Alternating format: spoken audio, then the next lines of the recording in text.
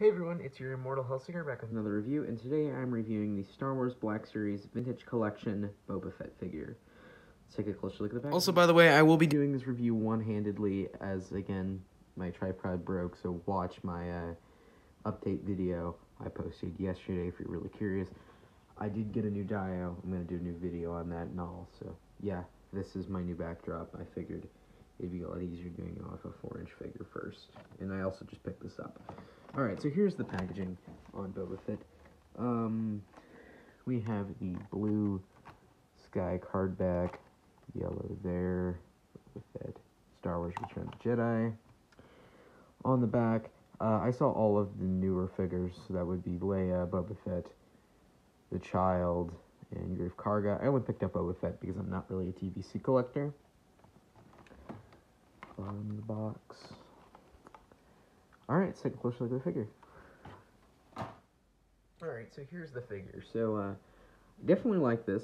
I'm not a TVC guy by any means. I already said that. I am um, definitely not for me most of the time, but I'm just saying, I like this figure. Uh, so, uh, he only comes with like one accessory, which is his gun.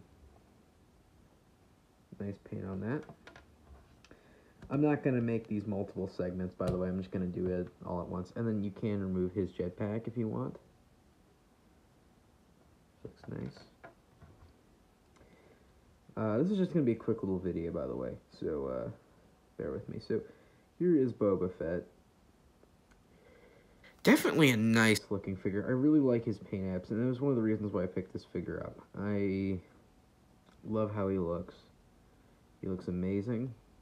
You get a cloth cape, which is really good to see.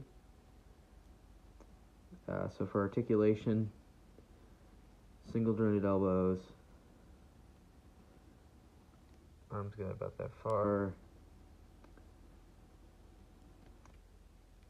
Swivel. Looks like it's just a uh, dumbbell joint there. Uh, knees, single jointed. Uh, it, it's got that sort of ball jointed type crotch joint, kinda, but they don't look like ball joints. They look like you know legs, but they're they work like a ball joint would. And then they got usual foot articulation, ankle pivot, all that. Again, this isn't very easy to do one-handed, so I'm sorry. Hands move. Alright. I'm going to do some comparisons with some uh, other 3.75 inch figures, which again, I don't really have many uh, like right next to me, so bear with me. I have a lot more, but they're all in storage. So give me a second. Uh, and here we go. Here is Boba Fett next to the Mattel DC Multiverse Arkham Knight and Deathstroke. Anyone remember this line? Some of my favorite 4-inch figures. And here he is next to a Joker from that same DC line and a 4-inch scale Cobra Viper. I believe that's what it is from G.I. Joe. And of course here he is next to a Boba Fett from the same film being Return of the Jedi. This is the SH Figuarts Return of the Jedi Boba Fett. I do like this figure more, but I like that one a lot. I'm still waiting on getting the Hasbro Return of the Jedi um, Black Series one. I'm still waiting on getting that.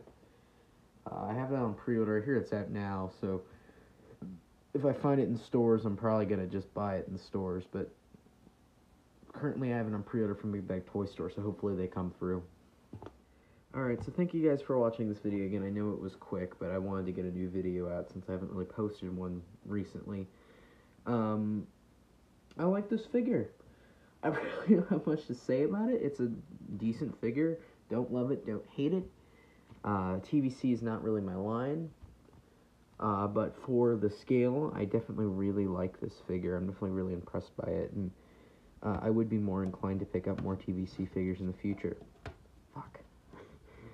Uh, yeah, I can't really get them to stand. That's one of my biggest gripes. Uh, I my next video will be showing off my new diorama. So thank you guys for watching. I really appreciate it, and uh, please like and subscribe and share with your friends that are interested. Bye.